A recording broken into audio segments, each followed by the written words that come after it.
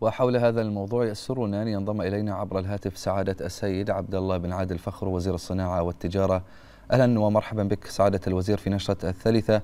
إذا التوقيع على مذكرة تفاهم بين وزارة الصناعة والتجارة ومؤسسة دبي للمستقبل. حدثنا عن أهمية هذه الخطوة. السلام عليكم. بداية أقدم لكم بالشكر على المداخلة لتسليط الضوء على الجهود اللي تقوم فيها وزارة الصناعة والتجارة لتنمية القطاع الصناعي.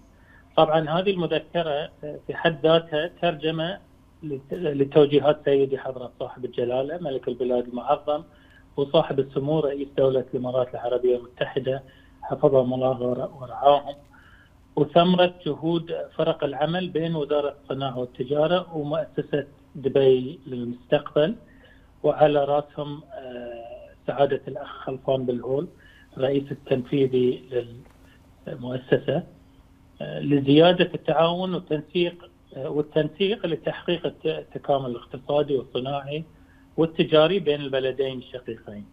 توقيع هذه المذكرة مع مؤسسة دبي للمستقبل خطوة مهمة لتشجيع البحث والتطوير والابتكار الصناعي والاستفادة من ريادة دولة الإمارات العربية المتحدة الشقيقة في هذا المجال واللي توليه الحكومة الموقرة برئاسة سيدي سمو ولي العهد رئيس مجلس الوزراء حفظه الله اهتماما كبيرا وتعتبر هذه المذكرة مكملة لعمل الوزارة لتشجيع قطاع الصناعة لابتكار الحلول لمواجهة التحديات نعم. التي تقف أمام نمو القطاع واستدامه واستدامة القطاع عبر توظيف أدوات الثورة الصناعية الرابعة.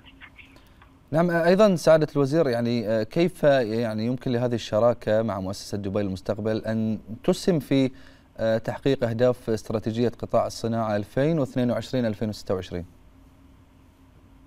يعني ستسهم هذه الشراكة بشكل كبير بالتأكيد في تحقيق أهدافنا الاستراتيجيه لتنمية القطاع الصناعي. اليوم استشراف المستقبل يعتبر واحد من العلوم الحديثة في وضع تصورات مختلفة وإيجاد حلول استباقيه للتحديات اللي تواجهها مختلف القطاعات. والوزارة والحكومة طبعا تستهدف عدد من الصناعات العامة عبر استراتيجية قطاع الصناعة للسنوات 2022 إلى 26 مثل الصناعات الصناعات الدوائية والغذائية وغيرها.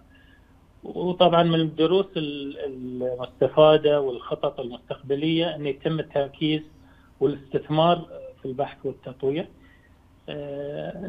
لابتكار حلول وصناعات للمستقبل.